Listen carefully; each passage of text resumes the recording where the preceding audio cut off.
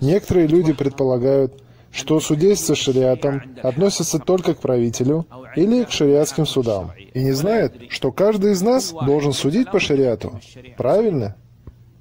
У тебя тяжба с кем-то. Суди согласно шариату.